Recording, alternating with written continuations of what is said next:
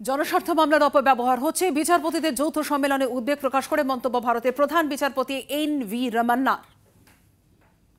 But a keen look at the websites of the courts will give you an idea about the huge workload on judges. The number of cases filed and disposed on each day is unimaginable. The rising number of frivolous litigations in an area of concern. For example, the well-meaning concept of public interest litigation is at times turning into personal interest litigation. No doubt, PIL has served a lot of public interest. However, it is sometimes being misused to stall projects or pressurize public authorities.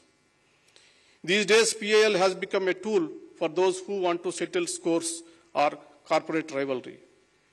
Realizing the potential of misuse, courts are now highly conscious in the entertaining of the SIM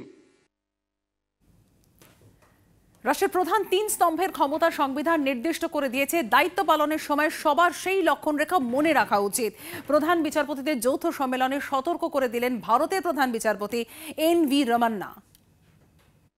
The constitution provides for separation of powers between the three organs clearly outlining their sphere of functioning delineating their power and responsibilities.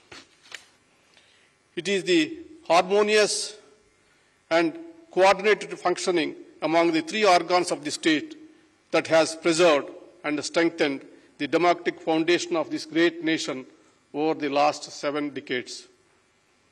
While discharging our duties, we all must be mindful of the Lakshmana Rekha.